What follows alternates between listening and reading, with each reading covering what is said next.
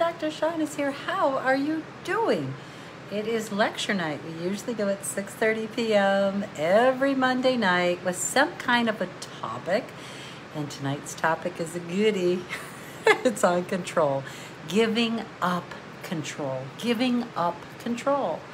And um, I'm going to do it a little bit different tonight. I'm going to reframe the concept because we all know what control is and what it isn't, right? We, we know that. It's the doing it part, it's the surrendering part that's so hard. And, um, and that's why I want to reframe tonight so we can actually start controlling what we control and giving up and surrendering what we can't control, right? Hi, Claire, I see you. Hi, Kaylee. It's nice to see you guys. I see you guys are popping in. Okay, so before I get started, I always do a couple of announcements. One is please join our Joy is a Habit Facebook group. I, everything I mention, I will put up in links. It's a great Facebook page, it's a great group, all focused on how do we provide more joy. And it's kind of like the frame of control tonight in some ways. Hi, Maria, I see you. Hi, Bernard. The reframe of control and reframing joy, because we reframe joy, meaning that you have access to joy, and on, on a dime, you can pivot and say, okay, I'm miserable, I'm upset about this, this is really upsetting me. What's one thing, one piece of joy that I can focus on in this moment just to get a reprieve from that pain or that upset or that trigger or whatever it is, right? Oh, I see you guys. Hi, Parveen. Hi, Kathy. Thank you. These are my brand new, spanking new prescription glasses. Hey, Terry, I see you're in here. Wonderful. Um, I always give away prizes at the end of this lecture. Tonight's lecture is going to be pretty short, maybe 15, 20 minutes or so. I always give away a prize, and there's a couple of caveats. You have to be in the U.S. for us to ship it to you. And, um, and I'll at the end of the lecture, I'll tell you how you can win. We're going to win right during the live. And prizes tonight include some of our swag. We have Project Forgive swag. Of course, our exquisite kindness is contagious mask. We've got a black one. We've got a white one. Let me show it. And uh, masks are coming back, and I don't say that lightly. Um, a lot of masking is going on because COVID is really running rampant. And um, if you want to get one of these masks, wonderful. You can purchase it or you can actually win it at the end of the live. I'm also giving away one of our charms. We have charms, stainless steel charms they that say forgiveness on them. You can use them for many things. Some folks have even sent me pictures that they put it on zipper pulls. So, you know, like when you have a zipper on your sweatshirt or whatever, and putting the forgiveness. Actually, I have one right here. Here's what the charm looks like. Here, let me switch this around. We put them on our essential oils. That's not one of the prizes tonight. Tonight it's going to be, here's what the charm looks like. You can see it right there. Okay, my nail popped off, so don't notice that.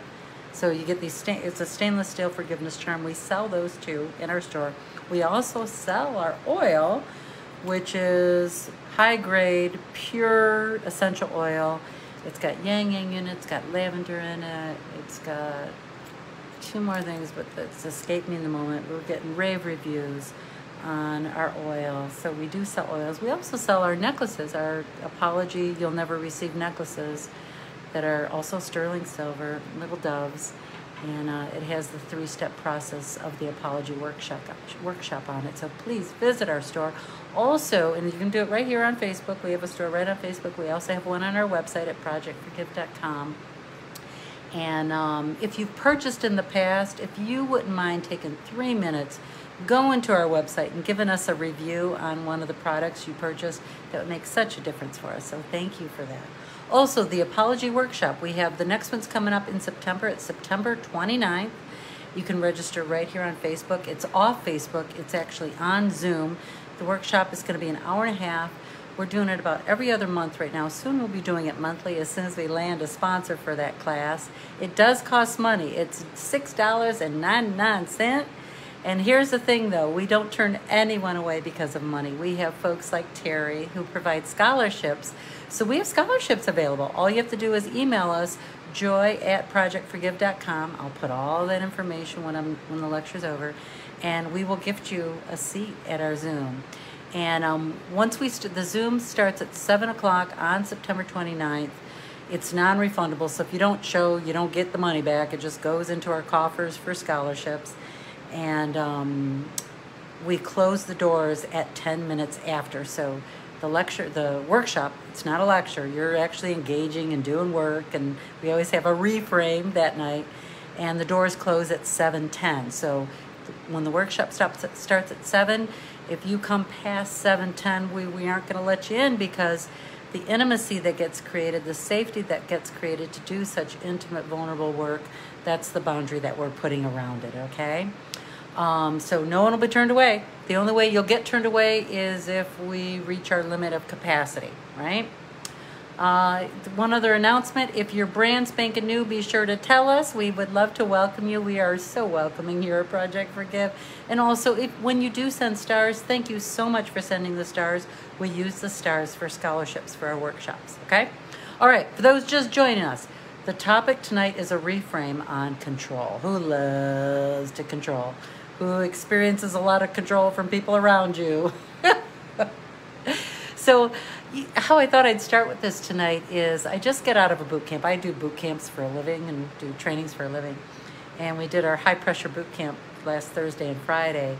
And during boot camp, we reframe words. Like we reframe the word fear so that, okay, we got this juxtaposition of love and fear. When you're in fearful mode, you feel panic, upset, anxiety, you're off and it doesn't feel good. And in boot camp, we always reframe it that maybe, as a possibility, fear is good. Meaning, all right, in business, okay, because these are business conversations with the reframe.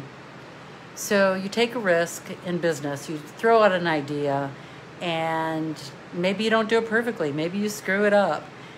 And the process to, to get masterful at it and to become really grounded in your new choices is to forgive yourself so that you can get better at it. Who's like try something new and you're not good at it? Most things you try, you're not going to be good at, and it's going to be a little bit scary, uncomfortable, frightening, whatever. And it takes practice to get good at something. When I first started doing Facebook Lives, do you think I was like, oh, yay, let me do a Facebook Live? No, I was freaking terrified to do it. I didn't know the tech, blah, blah, blah. I made so many mistakes along the way, and I had to forgive myself in that fear. And eventually became like okay no big deal. I can do this. No big deal. You know several years later here we are right? Same thing with the conversation excuse me about gossip. I'll come look and see what you guys are saying here in a minute. I have a phd in communication and my expertise is gossip how do you make things go viral well gossip as a con- concept is a complete reframe when you think of gossip, you think mean and nasty. That's not what the research shows. We actually used gossip theory to make Project Forgive go viral. We used gossip theory. And so that mean nasty stuff is only about 5 to 7% of gossip. We're actually really good people. And good gossip is the best type of word of mouth advertising that exists on the planet. Some of you are here are even only here because someone told you to come see check out our lectures, right? So that's a reframe on gossip. What about a reframe on trust for a second? think about trust, we always think, oh, I'm not going to trust that person. They're a jerk, blah, blah, blah. It's not about trusting other people. That's the second phase. The first phase, or the most grounded part of trust in a reframe conversation, because our topic tonight is control, I'm reframing control. When you reframe trust, it's about trusting yourself that you'll know what to do for the next right step. It's not about trusting Joe Schmo out there. Now, it doesn't mean you're not going to assess. Let's say Joe Schmo does something horrible and you're like, I don't like that. You got many choices because you trust yourself. You can A, set some boundaries to alleviate that behavior. You can decide, eh, I'm not hanging with that person. That person's toxic. There's lots of choices when you trust yourself. So there's no boogeyman out there to trust. Do you trust your neighbor that says the plumber that he used is wonderful? So now you're going to use that plumber. You're following my line of logic. I know you are. And then the biggest reframe of all is forgiveness. We usually think forgive and forget. That is just crap. Forgive and forget is a myth. Someone, you know, there's little things you can forgive, of course. You know, someone cut you up on the freeway, I can forgive them pretty simple on a dime. I just say, oh, they have somewhere to get, or oh, someone's sick, or I make up all kinds of stuff to let me just process it and forgive them very efficiently and quickly big things like murder, being molested, breast cancer and you're angry at God or Allah or Buddha, whatever it is that how you frame your deity, or if you frame a deity, we're non-religious. So I like to I like to frame it like that, so everybody feels the freedom to come, right? So reframing forgiveness, it's a process. It's not an epiphany like you have an aha. Oh, all of a sudden I forgive them. No, forgiveness is work. forgiveness is a process. And there's stages to it, and you go through nonlinear stages. So we reframe forgiveness all the time. So tonight we're going to reframe control. Sound good? Let's see what you guys are saying. I love the raspberry. Totally get it. Oh, people are welcome. Bonnie, I love that you welcome people all the time. You're so sweet. Welcome, Kim. You see if there's something you're saying. Welcoming Gina. Welcome, welcome, welcome. Love it, love it. Oh, Nadine, that's such a beautiful thing to say. I am feeling a lot of freedom because I happen to be going on a mastermind for a week. So I, as of tomorrow, I'm on vacation and uh, I'm going to be writing, working on the documentary that we got coming out, and just taking a break, right? So let's see. Love the comments on the glasses. I know they're so cute, aren't they? Hey, Joe, what's shaking? Hi, Connie. Hey, Lauren, it's so nice to see you. Hello, Lauren. Yeah, people are, it's just, you guys are so lovely how you welcome people. You too, Terry. You're awesome. Okay, so tonight's topic is giving up control. Sometimes when you're sitting there too, you want to control what's coming out of my mouth and say, hurry up and get to the content. I get it there's reasons why I do a lot of the things that I do. And sometimes people take a few minutes to get settled into their body before I get going. Plus, it gives me an opportunity to share some of the opportunities that we have with Project Forgive that would also support us too, right? Okay, so I have a list of things that we can't control, and there's a kabillion of them, right? And I'm going to read them off. I'll put them in the notes. Then there's a list of things we can control, right? I'll give you that list and then I'll put them up, blah, blah, blah. And then we got the reframe, okay? So very simple tonight. Simple, simple, simple on the reframe. So things, you, here's my list. What you can't control. Weather, traffic in the past. Darn it. Weather, traffic in the past. You can't control any of those things. Other things you can't control, other people's actions, other people's reactions, other people's thoughts, feelings, beliefs, other people's addiction and their recovery, and other people's ability to forgive or their ability to give or receive an apology. You have zero capacity to control any of that. You can't control people's actions, reactions, thoughts, feelings, beliefs. I think we'll align with that. That's general knowledge, right? Thank you for the stars. I see you guys are showing up. Hi, Angie. I see ya. Okay, things you can control, okay? You can control the food you put in your frickin' mouth. you can control that. You can control the amount of water you drink. You can control your personal hygiene if you choose to put on lipstick or put on a little bit of mascara. You choose your glasses. you choose your mindset, your work ethic, your schedule. In many in many instances, you have to give up control of your schedule. So I know there's sometimes it's a this and or, right? Control your honesty, you control your integrity, you control your ability to forgive, your ability to give or receive an apology. You have the ability to control your actions, reactions, thoughts, feelings, and beliefs. Okay, then life happens. I have some examples tonight, okay? So let's say you're mad at your partner, you're mad at your kid, your teenager, whatever. They won't clean up after themselves. That's a common one, okay? So to deal with it, you can, these are things you can control. You can explode in anger. Ah, been there, done that, where you just hit the wall, you say, darn it. I would swear, just so you know. Can't you pick up after yourself? I'm not your mother, like you might say to your spouse, or you might say to your kid, I'm tired of picking up after you, blah, blah, blah, blah, blah, blah. You guys know what I'm talking about. Or maybe instead of screaming at them or getting really angry. You indulge in behavior that hurts you because you're so upset. So that might mean like shoveling Reese's peanut butter cups down your mouth or a half gallon of ice cream. Been there, done that. Okay? Or you run around taking care of everyone else. And then when it comes to you getting a mammogram, that's last on the list. Mm, right? Because sometimes when we can't, when we try to control things outside of our control, we put all our energy in controlling others' schedules, others' self care, others' chiropractic appointments, others' love, others, others, others. And then when it comes to us taking care of ourselves, it's last on the list, right? It doesn't mean you do it all the time, it just means it shows up, right?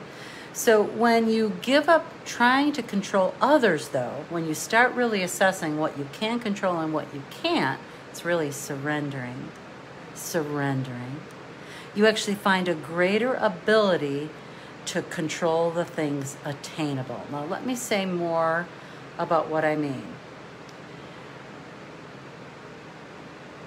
And I'm focused on really intimate relationships in this discussion, the people you really care about, the people you spend a lot of time with, especially during COVID, because I've been with my husband 24 7, mostly 24 7. It's one of the reasons I'm so excited about leaving tomorrow because I can get a break from 24 7 with my husband. You with me? Okay. And some of us are alone too. I get it. I just, I'm just telling you my circumstance. So here are some of the things because I've been really playing with the conversation of control and just been really noticing what am I doing that I'm controlling that doesn't reap the rewards that I want, whatever those are, that doesn't give me joy. One of them is doing laundry at my daughter's. I visit my daughter quite a bit in uh, Florida. She's a she's a very busy mom, busy doctor, and one of the things I do when I go to her house is I take over the kitchen and clean the kitchen and cook and blah, blah, blah, blah, blah, blah, blah. Okay? One of the things I always also did was I always did their laundry, which was massive, like massive. And after a while, that got old. Okay, I'd go home from vacation, being with my daughter, go home exhausted because all I'm doing is cleaning the frickin' house and doing their laundry. Okay, so my last visit, which was about a month ago or so, I announced, maybe two months ago, I announced that I was no longer going to do the laundry. And they're like, okay, you know, because they never asked me to do it, right? I'm just doing it to be helpful. And I really looked at what was driving me to do their laundry. What was driving me was guilt. I know what it's like to be a very busy mom. I was a single mother for years, and I would have killed for that kind of help. You know, are you relating to this? I'll look at coming to the comments here in just a second. And so, but it was at the expense of myself, so I couldn't do it anymore. Well, the trickle down effect is I gave up doing my husband's laundry. I haven't done my husband's laundry. It's been two months, hands down. And now when he has his laundry in the dryer, I'll just say, hey, your laundry's in the dryer. Will you move it? I got a load coming. And he goes off and does the laundry but that's not my chore anymore. I don't do that laundry anymore, which feels so good. Okay, that's just one simple example. Here's another example. So, and I love to talk about preventative medicine. I'm due for a colonoscopy. I'm 57. My last one was at 47, so I'm due for a preventative colonoscopy. So, of course, my doctor gives me a referral, and I have to make sure it's in my insurance. And I call, and the the doctor they referred to me is not in my network. Okay, been there, done that, and had to fight one 10 years ago, and I'm not going through that again. I learned fight to have the insurance company pay for a preventative measure. So I proceeded to call several doctors to see if they're in my network. They were in the online in my network, but I said, you know what? Let me feel them out and see how the office feels. Okay, um, I'm pretty loving when I call for services or whatever, even when I'm talking to Consumers Energy or whatever, you know, I, it just feels good. It's a way to connect with people. The first three places I called felt terrible. Like cold, aloof, never mind customer service, just know nothing. And now, like, and I have empathy, don't get me wrong, I know our first frontline workers, those working in doctor's office, I know they're under a lot of stress. My bar is not that high, okay? For basic kindness and basic customer service, it's not that high. Um, and the last call, the third call, the third call, the lady who answered the phone, she was, I could tell she was in a hurry trying to get me off the phone. And I had a lot of questions because I wanted to make sure the anesthesiologist was in my network. I mean, I am leaving nothing to chance with getting bills that are outside of my network. Okay, that's just what's so. And I said, you know, I have one more question about the anesthesiologist. And her, you know what her response was? What? And I'm like, no. I have control. I literally thought this. I have control over where I go for a colon- colonoscopy, and I have to have basic kindness, not over kindness, just basic, basic kindness. So, you know, I got my question answered. She was not nice at all. She was she was the B word, really. She really was. If I owned that business, I would have had a conversation with her or got her some training. The fourth call was the charm. This lady was exquisite. She was lovely. She answered all my questions. I mean, this is like a two minute phone call, okay? And I'm like, this is where I'm going because I can control where I go for a colonoscopy. I have control over that. Why not be around kind people? Why not? I can have kind people in the doctor's office, okay? And when the call was ending, I told her that she was such a delight. She was such a delight that I have to go with her and you know I'm thrilled and and how people treat you in a in an office says a lot about the leadership too. I do leadership training. That's what I do, okay? And however the leadership is at the top, they set the tone for how it's going to be in the office. So it felt so good to consciously and the key here is consciously, not unconsciously, consciously choose a beautiful doctor's office to do my exciting colonoscopy. okay? So I'm like, that is a perfect example.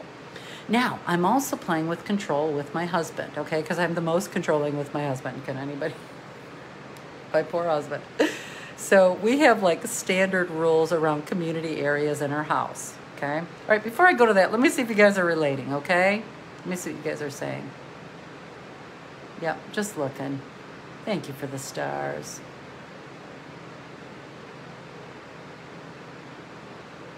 I'm with you, Lynn. Yep. Um, I'll look at that after the live, and maybe that's something I can, if you want to go ahead and copy and paste that into the messenger, I'll go ahead and take a look, okay? Yep. I'm with you, Abigail, on the dishes. you guys are fun. I'm just looking to see what you guys are saying. Hi, Claudine. Yeah, Abigail, you're so right. And that's the key there about pressure. We put this pressure on ourselves. The reason I'm sharing this is because I know that people can relate.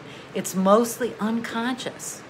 It's mostly unconscious. And Project Forgive is all about making the conscious, the unconscious conscious, making the unconscious conscious. And I feel like when I give my real world examples, that it helps you listening. That's the reason why I share it, right? Okay, love the self care. Yep. Yep, I'm with you on the laundry fairy, Claudia. Freedom is a great word. That's so spot on. Perfect. Yep, I'm with you. Thank you for the stars, Melissa. Yep, I'm with you, Nadine. The surrender is the magic word, Maria. You are so spot on. That is the right word. Perfect. Okay, so I'm going back down, looking for comments as I finish out these last couple of stories. So here's the other example with my husband, and I was talking a lot about at the boot camp that I just did. And uh, so the common areas, the basic rule of thumb is we keep the common areas clean, meaning the kitchen, the foyer, the living room, um, the bathrooms. Common areas we keep clean. And for whatever was going on, I go in the kitchen one of the mornings last week, and my husband's crap is all over. I'm just like, livid. I just want to go scream at him. And I was like, okay, just take a breath. You're a communication master. and let's go talk about it like adults. And I'm like, wait a minute. How many times have you had this conversation? How many times have you shamed him, because that's what it feels like for him, about the common areas? Can you just let this go right now, right now, and breathe? It's just a couple of things. It's not real. It's really not that deep in the scheme of things. And can I just do that? And I did did. That was the first for me in a long time. Here's another example of control, okay? So I have a wedding ring. Okay, it's beautiful. A beautiful wedding ring. And it is an issue of pain in my marriage because my husband won't wear his wedding ring. Does anyone else have a partner that won't wear their wedding ring? And I said, you know what? it's time to unpack this. What's going on with you about this damn wedding ring? And he wears it sometimes. He says that it hurts his hands. It, he works with his hands a lot, you know, like chopping and stuff like that. And um, and I always go to my romanticism around wedding ring that oh, I can't wear a wedding ring. My husband doesn't wear his wedding ring. Okay, so here's the unpacking process for me about the wedding ring and what am I going to surrender to and let go of. So my first husband was alcoholic. Was married for five years, and this Terry is my husband. That's my husband I'm married to now. We've been married 25 years. My first husband did not wear a wedding wedding ring, and there was a lot of other issues going on there, right, with all the alcoholism and everything. So that's there for me with my now husband for 25 years about the wedding ring. I'm like, okay, so that's there. I can accept that. And then the other thing is, separate of Terry, my husband, I can control whether I put a wedding ring on or not. Do I actually enjoy wearing a wedding ring? And the answer is yes. Yes, I do. I love my wedding ring. It's so pretty. And um and even though I'm an older lady, I still get hit on from the older men. it happens, right? And I don't you know, it's cute, but I'm, I'm pretty much at that stage of my life where it just is kind of bothersome. Um, I don't mean it in a negative way. And I notice when I wear my wedding ring, I get less flirting stuff with from other men who are not married or whatever. That's a delicate way to put it. And um, so I enjoy wedding, wearing my wedding ring. It makes me feel good. That piece about my husband not wearing his, let me put that to the side for right now and let because I can't control that, right? I can't. So I said to my husband today, I says, you know what, honey? I'm putting my wedding ring on. I want to just cease conversations about it because it's an ongoing pain, an ongoing complaint from me about you not wearing yours. The only thing I really need to say is that I feel really sad that you don't wear a wedding ring. That's really the truth. I feel really sad that you don't wear one. I'm not saying this to guilt trip you. I'm not doing any of that. I just am going to choose to wear, wear my wedding ring because it feels good to me. And I have joy wearing it. And at the same time, I feel sad that you don't wear yours. Enough said. Do I know where this is going? I have no idea. I just know I want to try that on like I'm trying on my wedding ring. Okay? And that feels really, really good. Yeah, let's see what you guys. Yep, I'm with you, Abigail. I'm with you on that. Perfect. Aw, Nadine, that's so sweet. Yep. I'm with you about the adult conversations are not always adulting by far. That is exquisite, Abigail. I love that. Yep, I love hearing that, Claudine, that your husband only wears it when he goes out. Yep, when you went out. Perfect. That makes a lot of sense to me. Wear it around his neck. That's a great idea, Melissa. you know what? I'm going to still continue to um, give up control and see where that leads me. It just because I made this decision today, and this is also applies to you, doesn't mean you're stuck with it for the rest of your life. You can change your mind. You can change your mind. And just in that context of playing with control, which feels so good to me to play with control, because I've always had control is such a bad thing. Controlling women, control, control, control. My mother was so controlling, right? And um, of course, I have my own stuff that I'm always unpacking, right? Okay, cool. So, reframe. Questions to ask yourself, and I'll put them in here. With that said, what are you going to surrender to not controlling? And then at the same time, what can you commit to focus on controlling that is well within your power? Yeah, and the reason I mentioned water because I can control how much water I drink, and I'm literally drinking eight um, eight ounces a day. I've decided that's good for my health. I actually keep track. I can control the water going in my mouth. I can control the food going in my mouth. And the interesting byproduct of this right now with what can I control, what can I control, I'm having much more facility around my health and what I'm controlling in my mouth than I've ever had because when I get upset and I can't control something, I'll shovel something down my throat. It's like a way to deal with the stress of not controlling blah, blah, blah, or blah, blah, blah. So it's kind of neat to see this starting to shift, right?